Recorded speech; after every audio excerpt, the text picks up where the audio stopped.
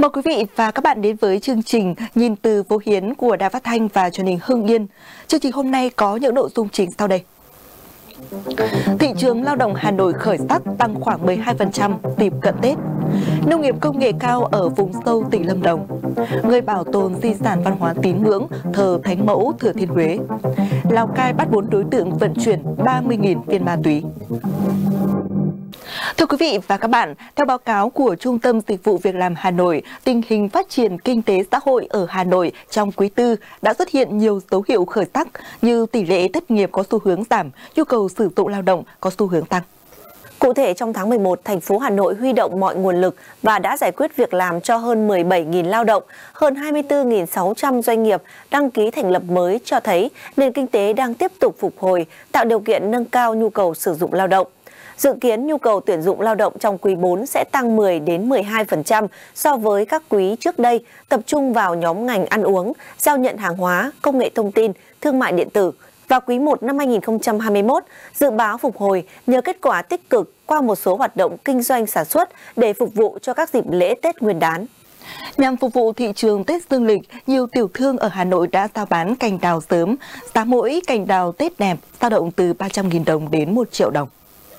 Theo tiết lộ của các tiểu thương, năm nay giá đào sẽ nhỉnh hơn từ 80 đến 100 nghìn đồng một cành so với mọi năm. Thông thường nếu mở bán sớm, lượng đào bích sẽ chiếm ưu thế hơn đào phai. Để phục vụ thị trường Hà Nội, ngoài đào Nhật Tân, các tiểu thương còn thu mua ở các tỉnh như Sơn La, Hà Giang, Hòa Bình. Đa phần hoa đào bán đều là dòng cỡ vừa và nhỏ để phục vụ khách cắm bình hoặc mang đi lễ chùa.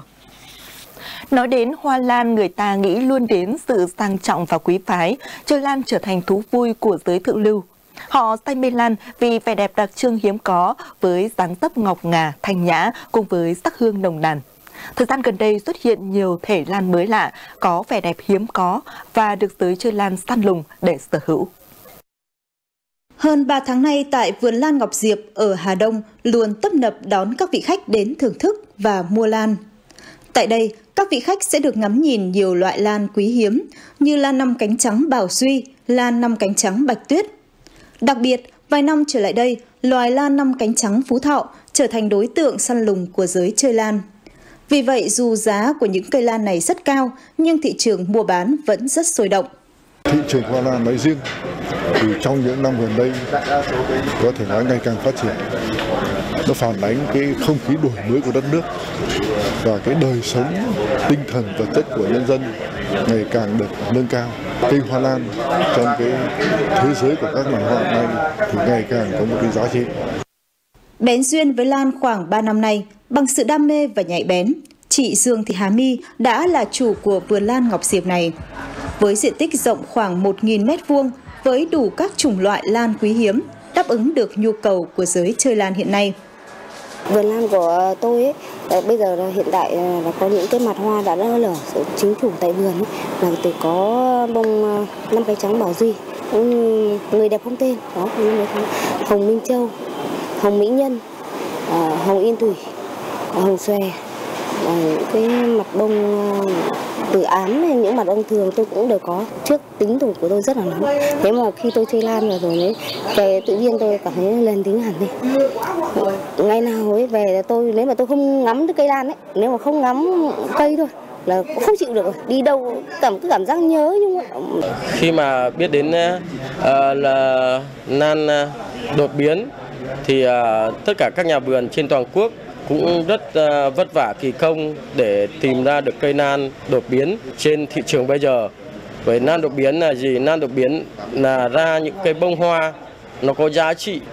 cho nên là cái giá trị quả cây nan đó là sẽ rất cao. Thời điểm hiện tại, việc săn lùng lan quý không chỉ là đáp ứng nhu cầu thưởng hoa mà còn là những giao dịch mang lại lợi nhuận lớn cho người kinh doanh. Chính vì nhiều người có nhu cầu sở hữu những loại lan quý hiếm đã khiến giá thành của nhiều loài lan bị đẩy lên cao. Nhưng nó đã dẫn đến những hệ lụy là nhiều đối tượng đã lợi dụng để lừa đảo tiền của khách mua lan bằng việc giao dịch mua bán qua mạng với những cây không có thật. Các chuyên gia khuyên rằng khi mua bán lan có giá trị cao thì nên lựa chọn những địa điểm uy tín, đảm bảo chất lượng và an toàn. Theo chia sẻ của chị Hà My, việc đầu tư trồng lan của cá nhân chị không chỉ để kinh doanh mà còn để thỏa mãn niềm đam mê với lan và mong muốn được mang đến một sân chơi lành mạnh, kết nối được những người yêu lan theo đúng tinh thần, vừa góp phần bảo tồn, lưu giữ, phát triển loài hoa quý, làm đẹp cho đời, vừa làm cho mọi người xích lại gần nhau hơn. Các xã vùng sâu, vùng dân tộc thiểu số ở Lâm Đồng với lối canh tác nhỏ lẻ, đời sống người dân còn khó khăn nhưng lại giàu tiềm năng về đất đai. Những năm qua, ngành nông nghiệp ở các địa phương này chú trọng ứng dụng công nghệ cao trong sản xuất, tạo ra nhiều nông sản với năng suất chất lượng tốt, thúc đẩy kinh tế xã hội phát triển. Ghi nhận tại hai xã vùng sâu Đa Quyên và Tà Năng, có đông đồng bào dân tộc thiểu số sinh sống của huyện Đức Trọng, tỉnh Lâm Đồng. Nếu như cách đây 3 năm đối với anh Nghe thuyền dân tộc Churu ở thôn Ma Bó, xã Đa Quyên, huyện Đức Trọng còn lúng túng trong việc trồng rau quả thương phẩm. Nhưng nhờ được tập huấn khoa học kỹ thuật, Ia Thuyên mạnh dạn đầu tư trên 110 triệu đồng làm 3,5 xào theo hướng nông nghiệp công nghệ cao, hiệu quả kinh tế tăng lên rõ rệt. Năm 2020, trừ chi phí, Ia Thuyên thu được trên 200 triệu đồng từ trồng cà chua. Từ khi trồng rau màu theo hướng nông nghiệp công nghệ cao, đời sống của gia đình anh Ia Thuyên được nâng lên rõ rệt. Với hệ thống tưới tự động này thì nó, nó giảm công rất là nhiều. Bây giờ mình tưới một ngày ví dụ là ờ, người chứ ví dụ cả buổi thì nó thì khoảng nó tưới khoảng 30 phút. Dạ, còn là phân ro thì mình tưới xong rồi mình trích theo nước. Cái này mình làm theo hệ thống trích theo nước thì nó không bị sót, nó giảm chi phí rất là nhiều. Mình làm việc khác nữa. Gia đình anh Đinh Văn Hân ở thôn Toa Cát, xã Đa Quyên trồng 1,3 hecta cà chua được 2 năm nay. Năm nay anh Hân làm được hai lứa cà chua nhờ giá bán ổn định, trừ hết chi phí còn thu về cho gia đình trên 400 triệu đồng.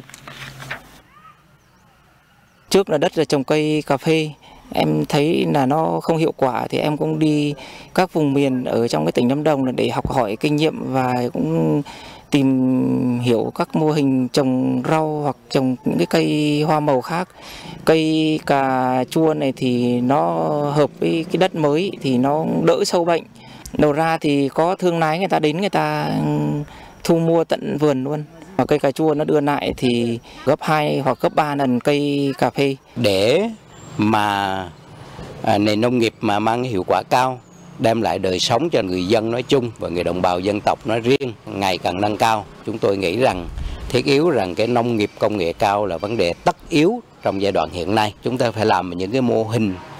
ờ, đảm bảo cái hiệu quả để người dân học tập ờ, những kiến thức về khoa học kỹ thuật chuyển giao đến cho bà con. Ờ, mặt khác thì cũng để đảm bảo mà bà con thực hiện thì nó cũng cần cái, cái nguồn vốn của nhà nước đầu tư phát triển những hợp tác xã hay là những tổ hợp sản xuất để đảm bảo đầu ra cho người dân. Nếu như cách đây khoảng 5 năm, tổng diện tích rau thương phẩm của hai xã vùng sâu Đa Quyên và Tà Năng, huyện Đức Trọng chỉ có gần 100 ha, nhưng hiện nay phát triển được trên 550 ha, trong đó có 210 ha sản xuất theo hướng nông nghiệp công nghệ cao. Ngoài các hộ người Kinh, nhiều nông hộ dân tộc thiểu số mạnh dạn đầu tư phát triển rau quả thương phẩm với diện tích khá lớn. Nhiều mô hình nông nghiệp công nghệ cao rất hiệu quả, giúp người dân trong vùng học hỏi, trao đổi kinh nghiệm, nhân rộng, nâng cao đời sống gia đình, góp phần thúc đẩy kinh tế địa phương phát triển. Tổng công ty Đường sắt Việt Nam sẽ thực hiện chương trình giảm giá vé nhằm kích cầu hành khách đi lại bằng tàu hỏa trong tháng 1 năm 2021. Cụ thể, ở khu vực phía Nam, ngành đường sắt triển khai chương trình 6.000 vé giảm giá 50% cho hành khách đi tàu từ ngày mùng 4 đến ngày 29 tháng 1 năm 2021. Sau khi giảm giá, giá vé thành phố Hồ Chí Minh, Nha Trang chỉ từ 160.000 đồng một vé, thành phố Hồ Chí Minh, Đà Nẵng chỉ từ 250.000 đồng một vé. Đặc biệt, giá vé từ thành phố Hồ Chí Minh đi Hà Nội chỉ từ 450.000 đồng một vé. Cùng thời gian, ở khu vực phía Bắc cũng áp dụng chính sách giảm giá vé 50% tương tự với số toa, số chỗ cụ thể trên các mác tàu do công ty quản lý. Ngoài áp dụng trên các đôi tàu khách thống nhất SE1, SE2, SE5, SE6, chương trình còn áp dụng trên tất cả các đoàn tàu tuyến Hà Nội Vinh, Hà Nội Hải Phòng, Hà Nội Lào Cai. Ủy ban An toàn giao thông quốc gia vừa có văn bản gửi Ban An toàn giao thông thành phố Hà Nội về việc xử lý nghiêm theo quy định của pháp luật đối với hoạt động quảng cáo bằng xe ô tô ảnh hưởng đến an toàn giao thông. Văn bản nêu rõ, thời gian qua, trên một số tuyến đường Hà Nội thường xuyên xuất hiện một số xe khách loại 45 chỗ không chở khách được dán đề can quảng cáo, phủ kín gần như toàn bộ xe, hoạt động vào giờ cao điểm. Các vi phạm được liệt kê như tự ý thay đổi màu sơn so với đăng ký xe, vô hiệu hóa gương chiếu hậu đặt trong xe, thay đổi đặc tính kỹ thuật kính xe ô tô, ảnh hưởng tới tầm nhìn, quan sát của lái xe khi điều khiển xe, đồng thời hạn chế khả năng thoát hiểm của những người trong xe khi xảy ra sự cố. Tiếp nối thành công rực rỡ của những hoạt động hợp tác văn hóa Đài Loan Việt Nam đã diễn ra thời gian vừa qua. Trong tháng 12 năm 2020, Văn phòng Kinh tế và Văn hóa Đài Bắc tại Việt Nam cùng Viện Văn hóa Nghệ thuật Quốc gia Việt Nam, Trường Cao đẳng Nghệ thuật Hà Nội và Trung tâm Hỗ trợ Phát triển Tài năng Điện ảnh trân trọng giới thiệu tới khán giả Hà Nội chương trình chiếu phim Salon Điện ảnh Đài Loan lần thứ hai mùa đông năm 2020 với chùm phim chọn lọc gồm những tác phẩm từng đạt nhiều giải thưởng trong nước và quốc tế của các nhà làm phim Đài Loan. 7 tác phẩm sẽ được giới thiệu trong tuần phim từ ngày 19 tháng 12 đến ngày 27 tháng 12 năm 2020 trong các buổi chiếu tại Trường Cao đẳng Nghệ thuật Hà Nội, Trung tâm Chiếu phim Quốc gia và Trung tâm Hỗ trợ Phát triển Tài năng Điện ảnh với vé mời được phát miễn phí. Nổi bật trong số các tác phẩm này có thể kể đến bộ phim Chúng ta là vô địch của đạo diễn Trương Vinh Cát về đề tài thể thao học đường kết hợp với câu chuyện cảm động về tình anh em của hai nhân vật chính Khương Tú Vũ và Khương Thông Hào. Phim đã giành giải đạo diễn xuất sắc nhất, quay phim xuất sắc nhất tại Liên hoan phim Đài Bắc 2020 cùng nhiều đề cử và giải thưởng ở các liên hoan phim lớn khác. Với bộ phim Lời thì thầm của những trái tim là sự đan xen những ký ức và cảm xúc chân thành của nỗi buồn và sự tiếc nuối với những cảnh quay lãng mạn được thực hiện ở vùng biển đảo xứ Đài chắc chắn sẽ chạm tới trái tim khán giả. Bộ phim đầu tay của đạo diễn Hoàng Hy Mất dấu Johnny cũng gây được ấn tượng mạnh với khán giả. Ở đó một xã hội đương đại với sự cô đơn, bất an, khắc khoải đi tìm bản thân, đi tìm lẽ sống cũng được khắc họa đậm nét. Lấy bối cảnh đời sống hiện đại sôi động và náo nhiệt ở Đài Loan, bộ phim băng đảng giải Oscar và sắc sống, bộ phim đạt giải thưởng kịch bản xuất sắc nhất trong Liên hoan phim Đài Bắc 2020 lại đem đến cho người xem một góc nhìn hoàn toàn mới mẻ, vừa hài hước lại vừa có phần tự trào thâm thúy về công việc sản xuất phim điện ảnh của chính các nhà làm phim trẻ mới vào nghề. Trong chuỗi sự kiện lần này, một tác phẩm đã được nhiều bạn xem phim đem lòng mến mộ. Từ Salon Điện ảnh Đài Loan lần thứ nhất cũng sẽ được mang trở lại màn ảnh rộng. Đó là bộ phim Mây Mù của đạo diễn Vương Minh Đài. Phim được trao giải xuyên biên giới Đài Loan trong Liên hoan phim Cao Hùng 2017 và giải nữ diễn viên phụ xuất sắc nhất trong giải thưởng phim Đài Bắc 2017.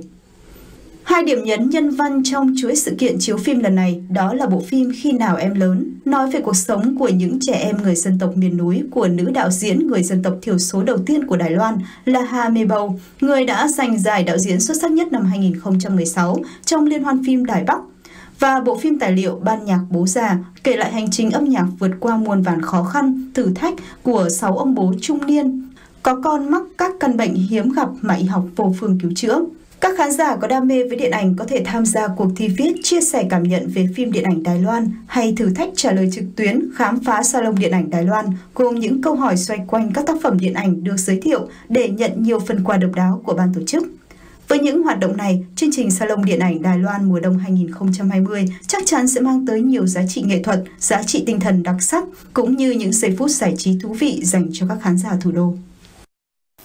Thưa quý vị và các bạn, vừa qua Hội Di sản Văn hóa Việt Nam đã chính thức công bố quyết định thành lập Chi hội Di sản Văn hóa Tín ngưỡng Thờ Thánh Mẫu Thừa Thiên Huế và lễ ra mắt Chi hội lần thứ nhất. Nghệ nhân ưu tú Lê Văn Ngộ đã chính thức nhậm chức Chủ tịch Hội Di sản Văn hóa Tín ngưỡng Thờ Thánh Mẫu Thừa Thiên Huế nhiệm kỳ 2020-2025.